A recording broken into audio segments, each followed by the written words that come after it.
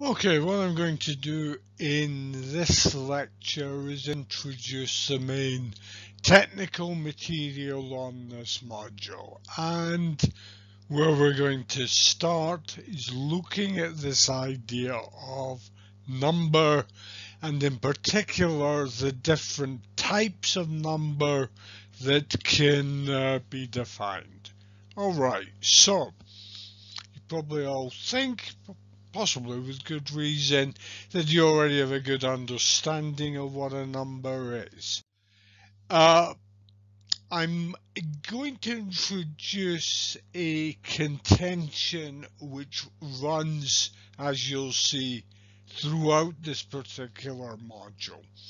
That contention is, is that computer science has one central concern as its activity and that concern is the basic computational problem is how do I count, how do I measure a particular object, a particular structure.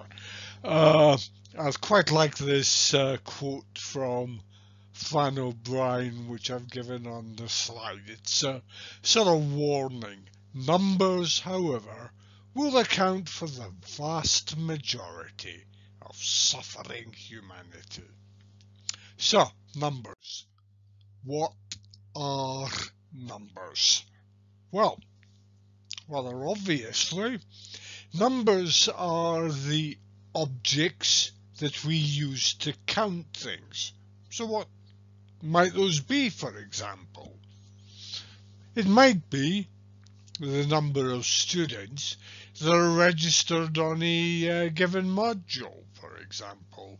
The current module, uh, modules uh, run by other departments in the university. Might be the number of correct answers on a multiple choice question exam. Could be the number of points that a particular football team say has amassed at the end of a season. One of the activities that used to be very common was for converting metric measurements to so-called uh, imperial measurements. And that again is something that we can see as a counting problem.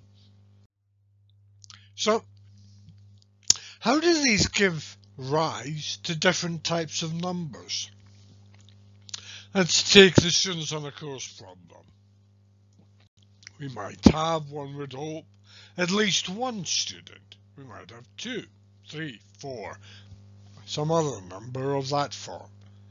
If we look at the number of correct answers on a multiple choice question uh, paper, we have an additional possibility. We could, in principle, have no correct answers. We could have one, we could have two, we could have three or more in the, as well. If we take the number of points obtained by a team at the end of the season, we have a further possibility. In uh, some uh, cases, a team may start the negative number of points perhaps as a result of some penalty that's been imposed. And that team may never manage to overcome that points deduction at the uh, end of the games played, and so it could end the season not with a positive number of points, but with a negative number of points.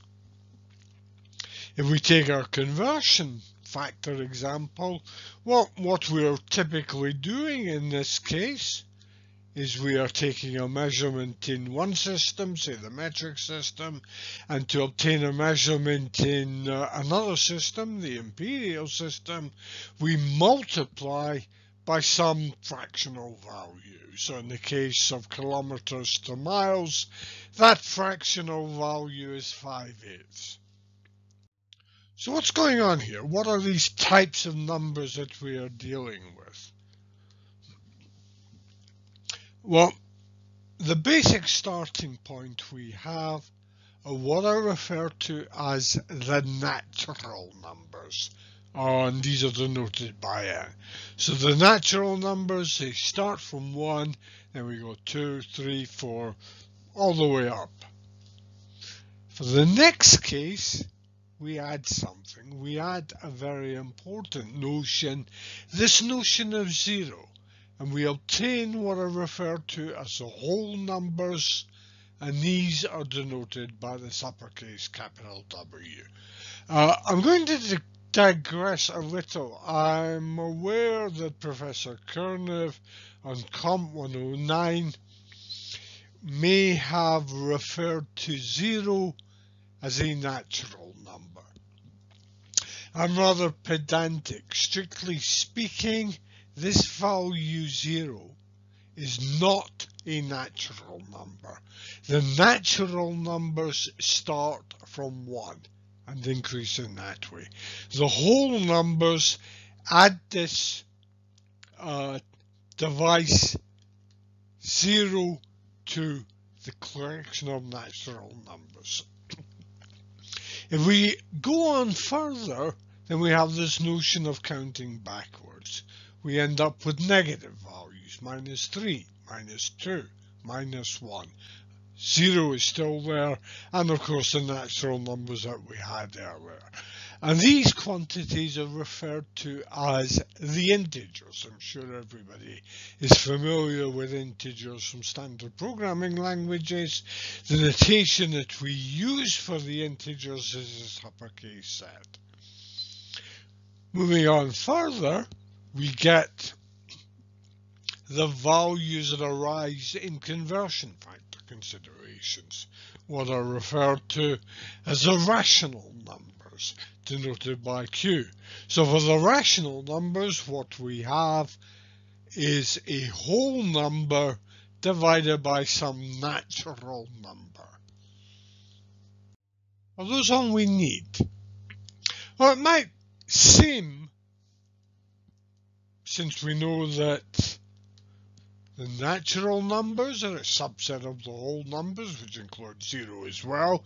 These are a subset of the integers, which allow negative values. And in total, all of these are subset of the rational numbers. Do we need anything else? I mean, if we look at how computer systems operate, these only use rational numbers in one particular sense. The representations are all finite. However, uh, we can ask the question, are the rational numbers the sort of ultimate limit? Or do we ever need anything more in terms of counting activities, in terms of measurement activities than rational numbers? Uh, it turns out, actually, we do this notion of rationality is not enough. We need something else. So here's a rather artificial motivating problem for the class of numbers I'm going to describe. Suppose we wish to measure out a square field and the area of this field has to be exactly 2 meters squared. So the question we have is what length, given that this is a square field, do we need its sides to be? What length L do we need for the side of the square of this field? Well, pro possibly, probably, fairly obviously, this length L well, it has to be such that the area of the field is 2, and what that means is that L squared, the length of each side multiplied by the length of each side, that has to equal 2. So the question we're asking is, is this value, the length of the side of the square, a rational number? Is it a Is it something that we can represent as a whole number divided by a natural number. Well, it's not hard to see that this length cannot be an integer, cannot be in z, because if we choose the length to be 0 or to be 1, well, 0 multiplied by itself is 0, 1 multiplied by itself is 1, and both of those quantities are too small, they're less than the value we need. If we choose the next integer along, value 2 or 3, well, we multiply 2 by itself, we get 4, that's too big. We multiply 3 by itself, we get 9, and that's too big. So it can't be 0, it can't be 1, which are too small, it can't be 2 or larger, because these are going to give values which are too big.